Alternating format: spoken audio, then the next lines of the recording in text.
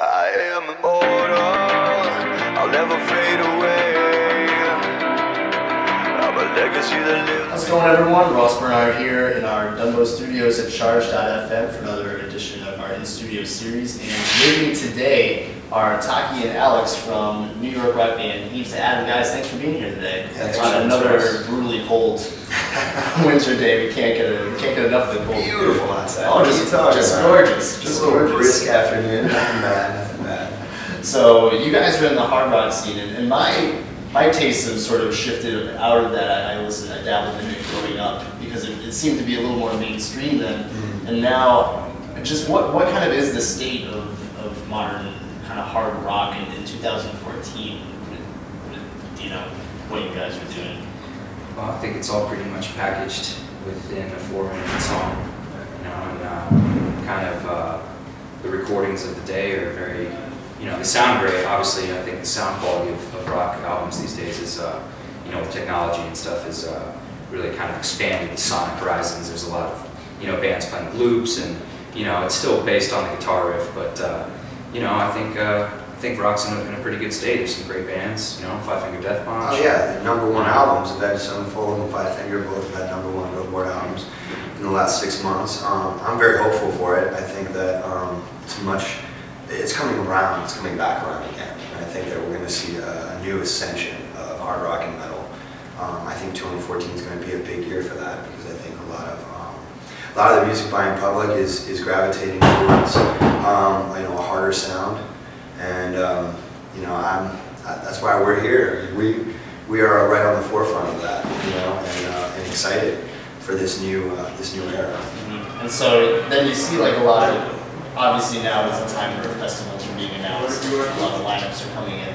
But it seems like rock is a lot of, is absent a lot of the big mainstream festivals. I mean, the only one that I can think of is like Lollapalooza or something like that that sort of embraces rock and puts it on a stage like that. I mean, where, where does that attention go? Like, where, where are the festivals for, for rock or where does the attention get placed on it?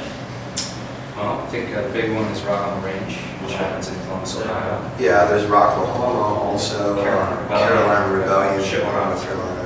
Um, there's quite a few that are, are large, you know, rock festivals known as, as hard rock metal venues. You know what I mean? Um, I see what you're saying. though. Lollapalooza being a more mainstream event, um, like in the terms of a Coachella, you know, things like that, where um, you've got like a say a hard rock metal band intermixed with um, a huge alternative band or a huge hip hop artist. You know what I mean? And I um, I totally applaud you bringing that up because I've always said that you know what our genre really needs is to kind of intermix more with other genres of music. It seems to be that um, you on its own little island. yeah, we've kind of segregated ourselves into this, you know, small little categorized island, you know, where we're kind of isolated and, and cut off from, from some really amazing artists that are out there. And, and I think the population out there um, would get more exposure and be more into bands like us if it wasn't just so secular.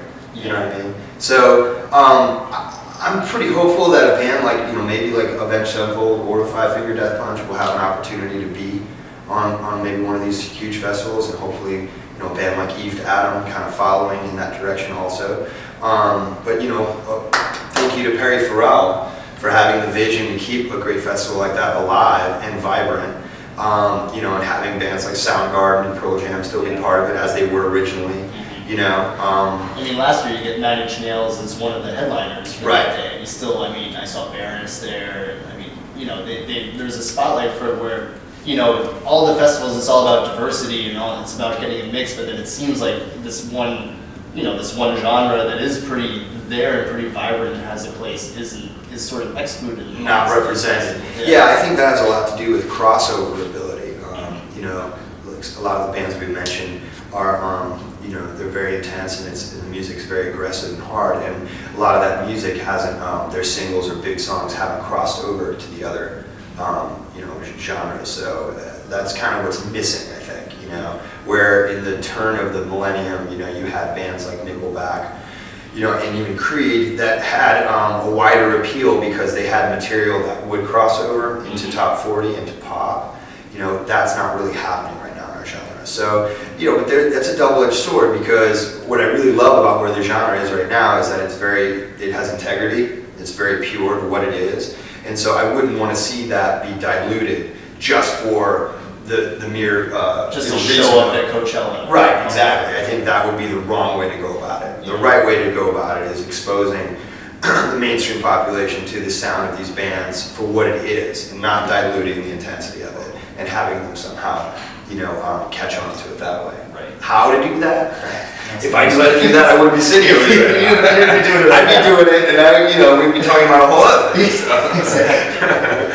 So that is the question, but I'm hopeful that there's enough creativity and imagination out there that as this genre starts to waterfall, um, because it is growing, um, that you know that will happen. You know, so and we, we will do everything we can with our band to uh, to push that envelope. Yeah, so you guys just had your fourth album come out in September, Mhm. uh, Locked and Loaded. What, Yep. uh, what, what's special about this album? You guys, I mean, you, you've obviously you've been in the game for a while, so to the longevity and to, to be this this deep has to mean something. And then, you know, what what about the album itself stands out to you guys?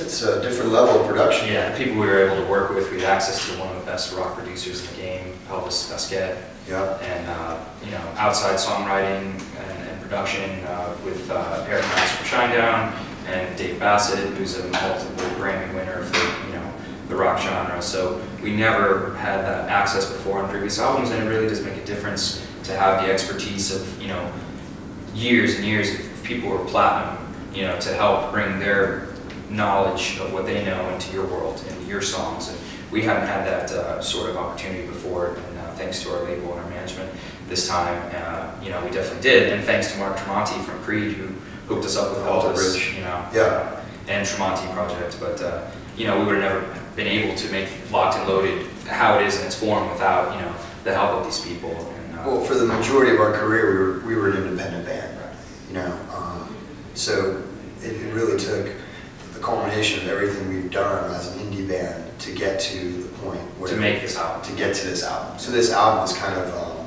validation and reward for all the things that we had accomplished on our own. Um, surviving through a very um, tumultuous period of time in the music business and also a, kind of an ever-changing genre of music, you know, hard rock and metal, you know, kind of um, evolving over the last, you know, eight to ten years. Um, and so, so this album was really a, a testament to us surviving and, and where most bands kind of decline over time, we've kind of actually gone the other way. And we've actually become stronger, um, more aware of our personality and identity. And with this record, what we were able to do is really kind of sculpt that, you know, with the help of some really great talents.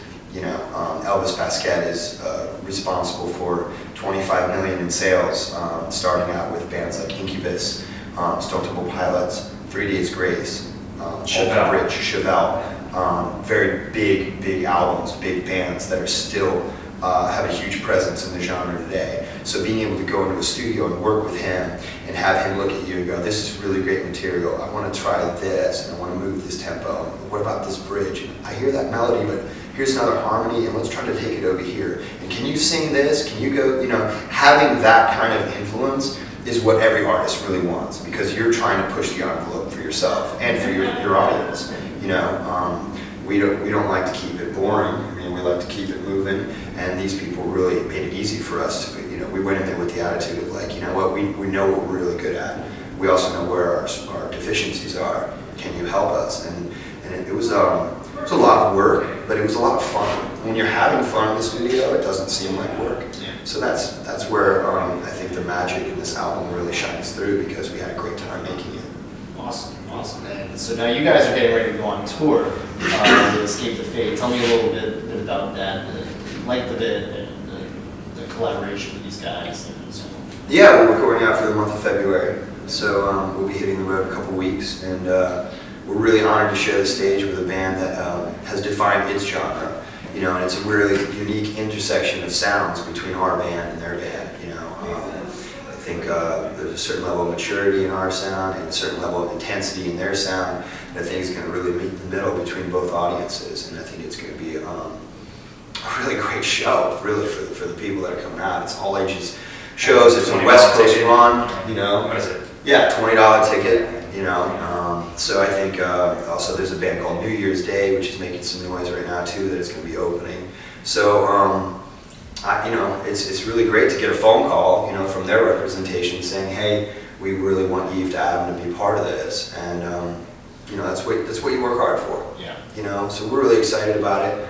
Um, it's a West Coast run for us, being a New York City band, you know, getting to get out to places like Spokane, Washington, and Boise, Idaho, and Salt Lake, and, um, you know, out in Arizona and California. You know, that's um, it's a unique opportunity for us, you know, to push our sound onto the West Coast sound, so it's cool. Right. And then what, do you guys have anything else planned for 2013, 2014 now? 2014. God. Yeah. We're starting to get some festival bookings and, that's, you know, uh, I think we have a show in Wisconsin in July, we're excited. Yeah, they just called us and we booked a couple days ago. We're going to be um, uh, opening for Aerosmith and Cheap Trick. Oh, in Wisconsin uh, in July, and um, a few other uh, appearances that are, you know haven't put up yet. But festivals all through the summer, and uh, we're up for quite a few uh, other pretty main main stage tours too. So um, starting to get some interest from the UK and Europe now. So. You know, um, 2014 is going to be really busy for us. You know, the new single "Immortal" is number 22 at Active Rock right now. Um, it keeps climbing, and um, you know the audience is growing pretty quick for the band. So you know it's going to be interesting to see how things change from you know the diehards that have been with us on this journey for so long. So thank you so much, guys. Taki, Alex, Eve to Adam for, for coming in and uh, spending some time talking about hard rock with me today. Uh, pleasure having you in the studio. Thank you for Thanks for having having us. us. Um, check uh, check out the 2014 February tour with Escape the Fate. Check, look, look for the single Immortal online. Look for the other tour dates, and then Eve to EveToAdam.com. Everything Eve to Adam. All social media links are there, and uh, we'll see you on the road 2014. Thank you. Yes, for Ross, for Eve to Adam, Ross Bernhardt. Thanks for checking in, guys.